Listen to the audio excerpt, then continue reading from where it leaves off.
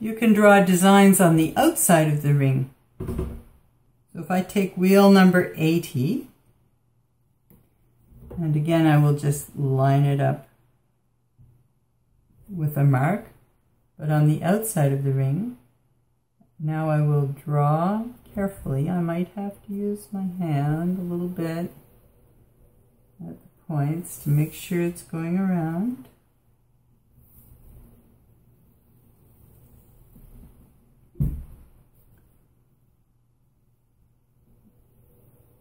Just a little gently. Keep the teeth engaged.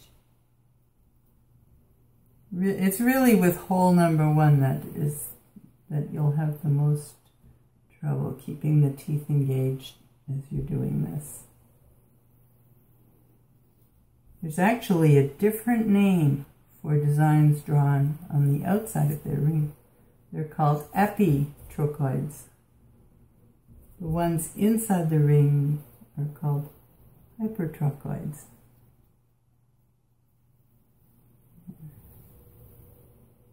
Epi means on the surface. There, so that was wheel number 80 going around the outside of this ring.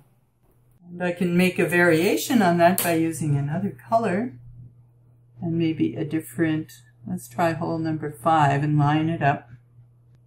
And now I'll draw with hole number 5 around the outside.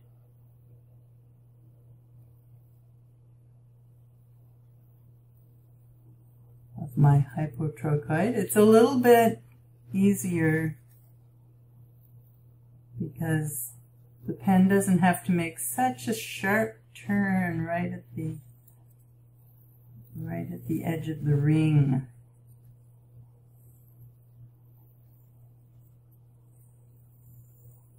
So you see you get the same number of points with other holes on the same wheel, but it's just a little further from the line. Now I'll just do one more.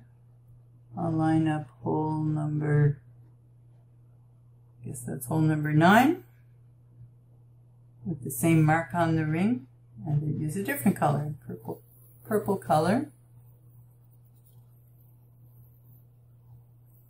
So you see how it's a less pronounced design as you use holes that are further from the edge of the wheel.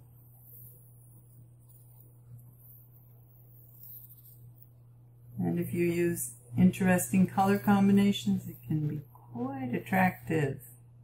Now my epitrochoid has nine points. Suppose I want to make something on the inside that would match it. Well, I'm looking at my pattern guide and I don't see that any of the patterns created inside wheel number 14496 have nine points, but remember number 32 has three points. So I'm going to take my little wheel number 32 and line it up so that it's pointing here and make take advantage of the ring still being fixed to the paper and I'm going to make three I'm going to draw three times. I'm going to line it up. I'm having to eyeball this. But I want a nine-pointed design on the inside. There's no mark there, so I'm eyeballing it as well as I can. And then I'm going to try to line it up with that hole. So it looks to me like I did pretty well, that I got it lined up in the right place. So I'm just going to match the same colors that I used before and draw um, patterns to go with the so using hole number four I'm going to repeat the pattern And again, I'm eyeballing it each time to make sure I'm in the same spot. Hole number four.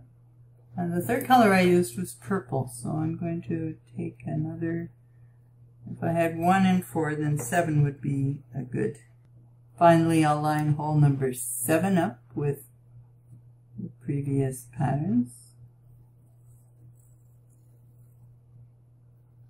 And remember this is, this wheel makes a three pointed pattern with the inside of this ring.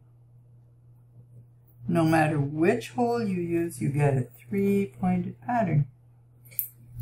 So now I've made a matching pattern on the inside to go with the ring on the outside, the epitrochoid on the outside, and I used the basic pattern guide that's in the inside of the book to help me find a wheel that would work.